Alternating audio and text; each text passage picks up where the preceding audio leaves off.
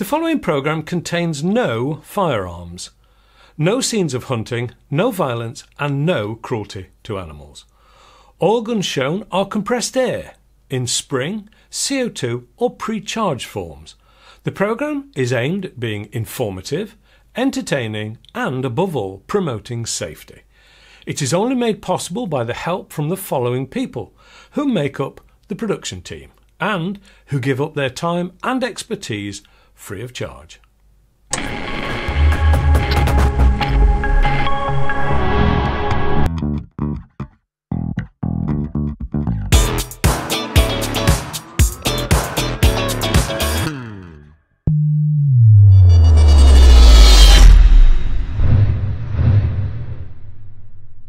Hello and welcome to Andy's Airgun Review. I receive a lot of comments from people who watch the channel, and occasionally I receive one that makes me stop and think. This one from Hedgerow Pete was just one of those comments. Sometimes we can be guilty of taking things for granted, and it's very easy to do that when it comes to reviewing guns. Sometimes it's a balancing act to let people know the interesting bits without doing too much on the boring side. Boring, that is, if you already know about it. Well, it's probably about time I put together more of a beginner's guide to airguns, but hopefully with some interesting stuff for the experienced shooters as well. Hedgerow Pete also asks for more angles real time shots, etc. Well, I currently use three cameras when shooting to try and get as many angles as possible. And there is usually action shots on the guns as well. Sadly, I am the cameraman, soundman, producer, and well, everything. So I will continue to do as many angles, etc., as possible, but sadly, there is a limit. So, where do I start with the beginner's guide? Firstly, I sat down with a piece of paper and started to write down as much as possible. My intention was to cover all types of guns and systems. Well, in one video, it quickly became apparent that that was not feasible, not unless the film was going to be about an hour long. So, what I'm going to try and do is a guide to CO2 pistols first, and if there is a demand for it, then I will look at springers, PCPs, rifles, FACs, etc. Please let me know in the comments section below if you want to see more of this type of video. CO2 pistols come in all shapes and sizes from modern style to historic replicas, transforming, and lots more. It seems companies are thinking up new products all the time, which is great. First of all, let's look at the CO2 part first. Most guns use the CO2 12 gram cartridges, which are disposable non refillable, and are cheaper the more you buy.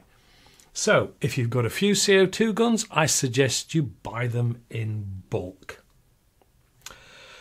They work by holding pressurized carbon dioxide in the cartridge.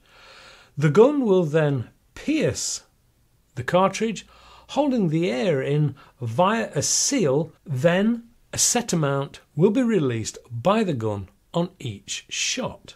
Loading it into the guns can take lots of different forms, and here are a few examples.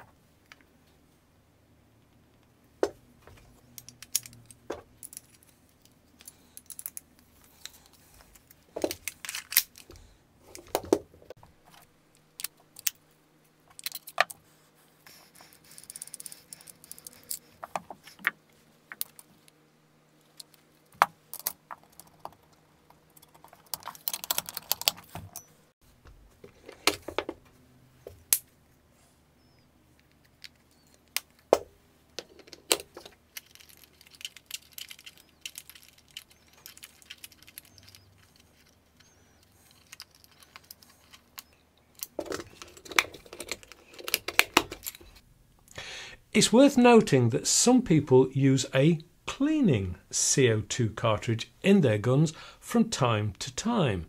But I found that if you use a drop of oil when you fit them into your gun, this will help keep your gun in tip top condition and help look after that all important seal.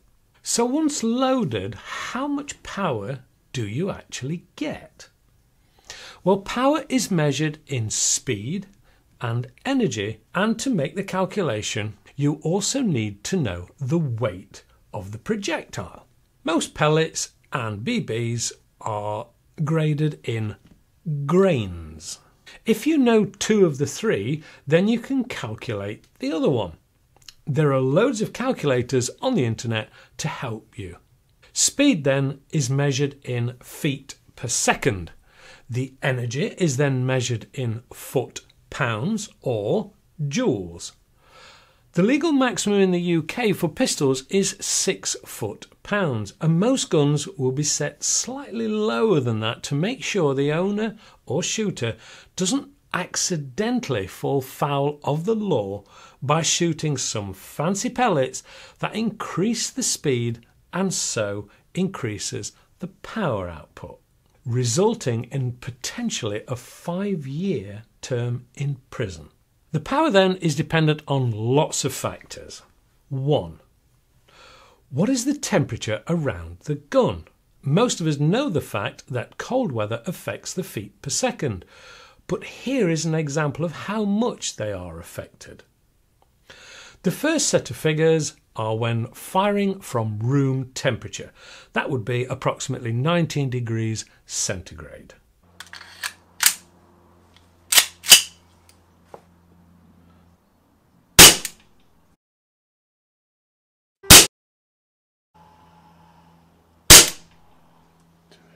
Then the next set show what happens if you warm up the CO2 and the feet per second that can be achieved.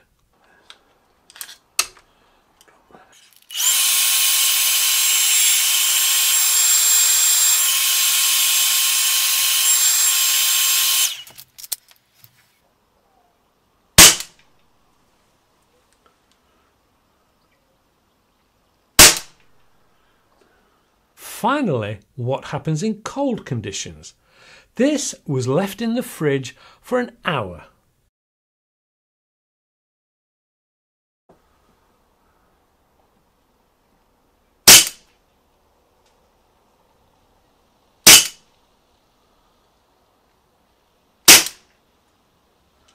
So now you can see the true effect.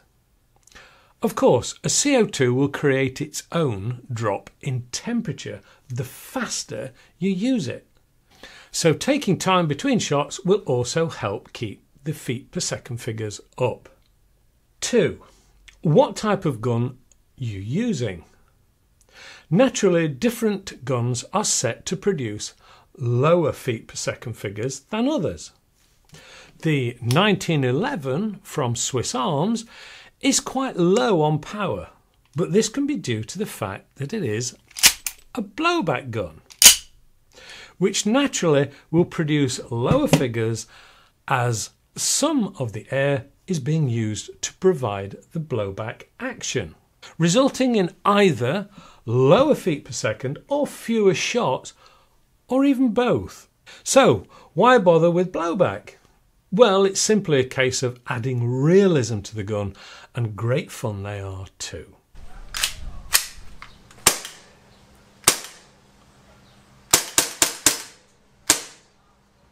Three, the type of ammunition you use will also affect the feet per second. You could be using lightweight alloy pellets, which will produce a higher figure. Alternatively, you could be using heavyweight lead pellets, which are cheaper and slower, but will quite often give a higher energy rating at the target. Because it's all about balancing speed and weight. Naturally, the faster the pellet is travelling, the straighter it will fly, and that should add to the gun's accuracy. Not all guns use pellets. Some use BBs or ball bearings. These guns are normally cheaper than the pellet equivalent, often due to the fact it doesn't have a rifle barrel where the pellet version does. The rifle barrel helps spin the pellet in the barrel, again adding accuracy. Often a BB gun will have a smooth barrel instead of the rifling effect.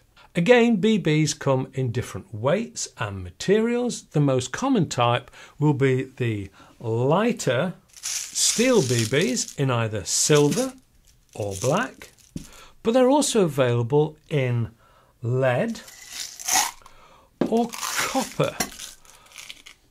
Why different materials? Well, steel BBs are the lowest cost option, but will wear a barrel out because they are very hard and they have a tendency also to ricochet on impact if you're not careful. That obviously can be dangerous, so extra care is required when using the steel BBs.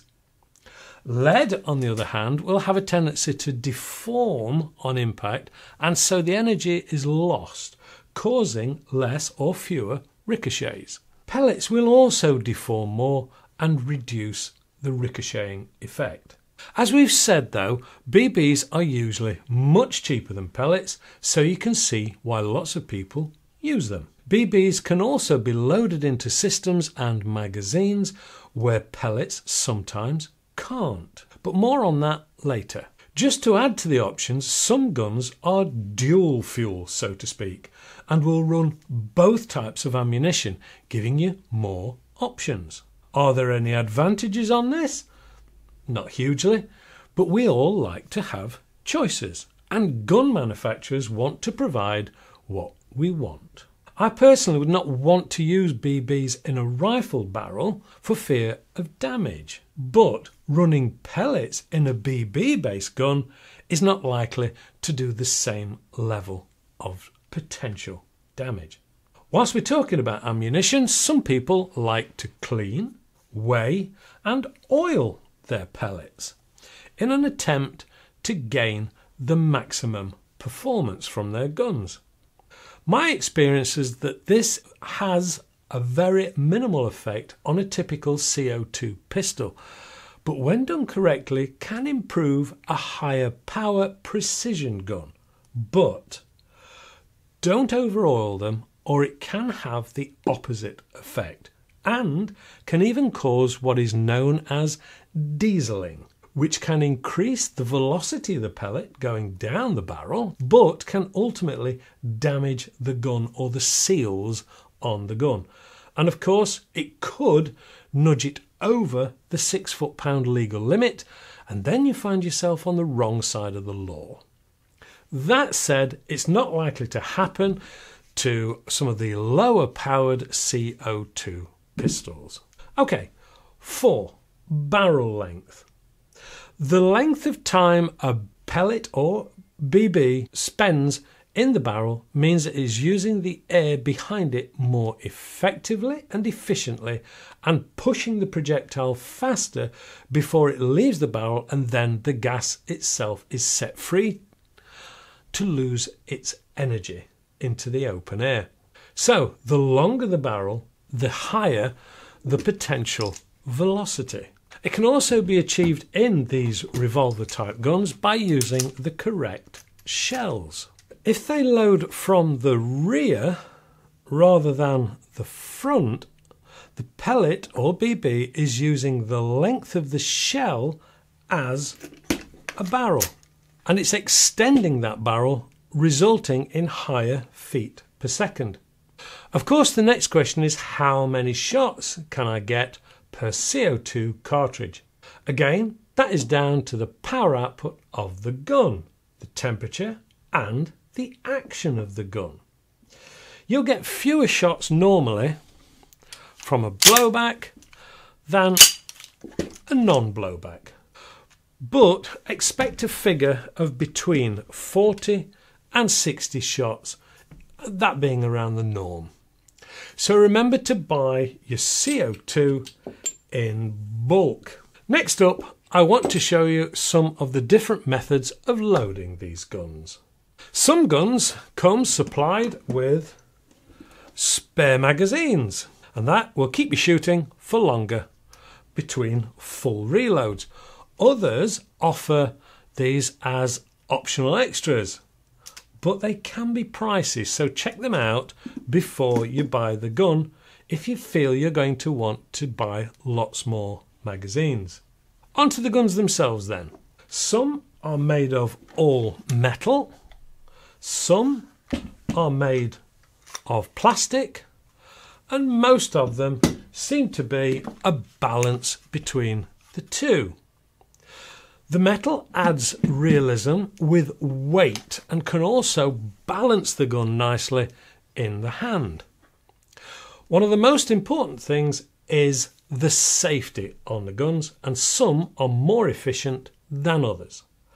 A safety that is slightly stiffer or more complex to put the gun into fire is no bad thing in my books, especially if you have any children in the house. And of course, whilst there is currently no legal requirement to have them in a locked gun safe in the UK, please make sure they are kept securely locked away. Most CO2 pistols will come with open sights. Some are simply fixed and others are adjustable, either up and down for distance correction or side to side for windage or centering of the gun to the target. Some will have the ability to fix external sighting aids such as telescopic sights, red dots, or lasers. These type of sights will usually require time and effort to calibrate or zero them in. And I've also completed a full tutorial video on that subject. So, what about other toys? Well, some will have a rail system, either Picatinny or Weaver, the difference primarily being the width of the rail. Check that out first before you buy any accessories, as these toys can come in different fitments. It opens it up for torches, lasers, grip handles, and many other things to be attached. But not all guns come with this facility. You can also fit silencers or moderators to some pistols, and this can quieten the gun down considerably if you fit a decent size and quality item. Here is an example of how much quieter they can be.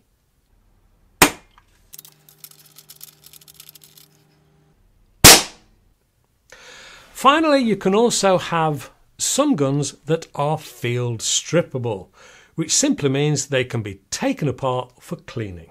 These are usually on replica guns to add to the authenticity of the original. Hopefully, this video has gone some way to explaining some of the basics of the CO2 gun. But of course, this is by no means the only type of airgun that is out there. Please feel free to leave a comment or any information you feel I may have missed out. But as we said at the start, this is primarily aimed at the beginners in the hope that they can join our sport armed with a little more knowledge and then have years of enjoyment. Thanks for watching.